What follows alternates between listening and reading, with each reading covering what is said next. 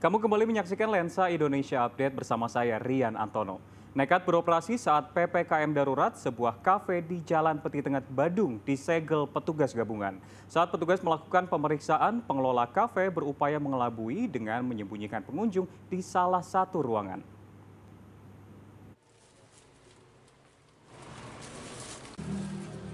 Berbagai bentuk pelanggaran ditemukan saat penerapan PPKM darurat Jawa Bali berlangsung.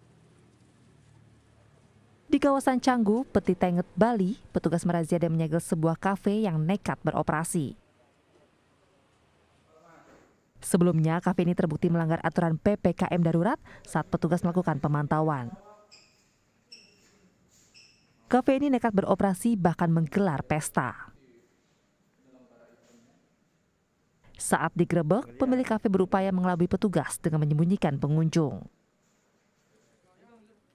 Kafe akhirnya disegel dan pemilik kafe didenda satu juta rupiah.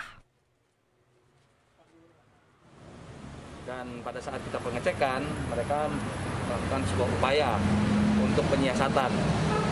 Uh, jadi mereka menyampaikan bahwa tidak ada kegiatan, tidak ada acara dengan menyembunyikan tamu-tamu ini di dalam suatu ruangan khusus.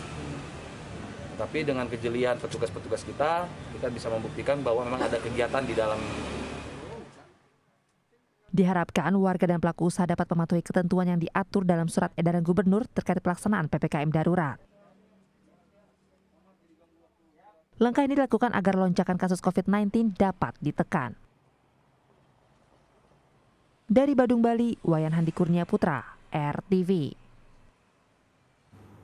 Demikian Lensa Indonesia Update kali ini. Kami kembali mengajak kamu untuk selalu menerapkan protokol kesehatan. Caranya gunakan masker dengan benar, selalu menjaga jarak, dan pastinya jangan lupa cuci tangan dengan sabun di air mengalir. Saya Rian Antono, sampai jumpa.